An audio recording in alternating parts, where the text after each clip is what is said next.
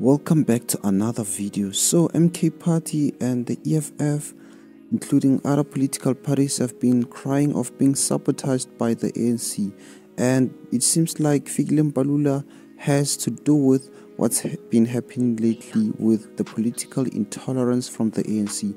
For continue please do me a favor do not forget to subscribe for more latest updates. So guys you know what happened to MK Party at Free State after they were sabotaged from you know making the event successful you know.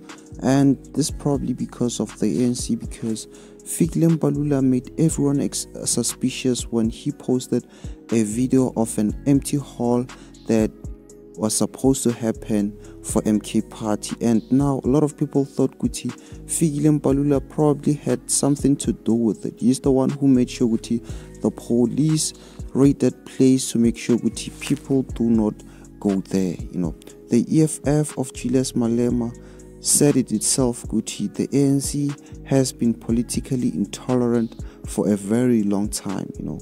And mostly this has to do with Fikile Mbalula. Fikile Mbalula would do anything to make sure Guti there's other parties like MK Party and the EFF because they are currently their number one enemies. They are not really concerned about the DA because apparently the DA and the ANC are working together because they are funded by the same people, you know. So these same people want the ANC to remain in power and the DA, you know, as the second most biggest political party, you know. So the ANC is no longer concerned for them because they are already funding it and controlling it. So it's no longer a threat for the white people and other people, you know, because it has privatized everything, you know.